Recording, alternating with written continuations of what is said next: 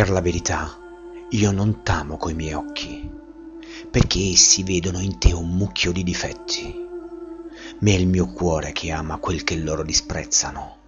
e, apparenze a parte, ne gode alla follia.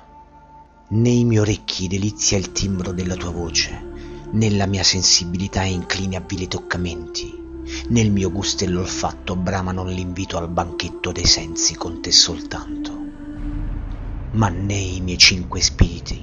né i miei cinque sensi possono dissuadere questo mio sciocco cuore dal tuo servizio, avendo ormai perso ogni sembianza umana, ridotto a schiavo e misero vassallo del tuo superbo cuore